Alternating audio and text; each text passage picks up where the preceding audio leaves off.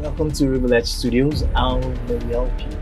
Um, I'd love uh, seven edited photos of me, personal, and uh, five edited photos of myself and my man here. Meet me in front of our studio.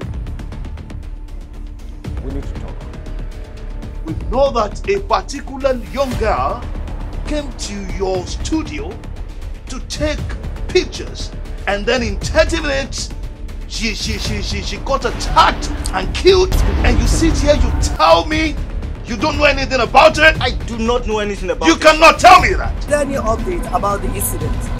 I got a call now that uh, we lost her eventually. Ah, ah, ah, come on. Come on.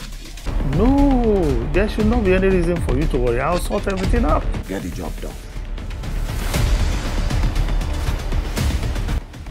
Annabelle, you are under arrest. Rest? she's yet uh, to make a concrete confession And what the heck are you waiting for?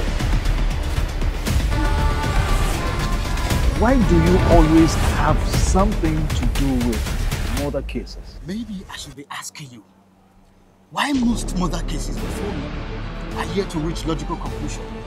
Or should I ask you you know something about my friend's death because you were the last person they spoke with yesterday? Are you calling a crime investigation officer a suspect?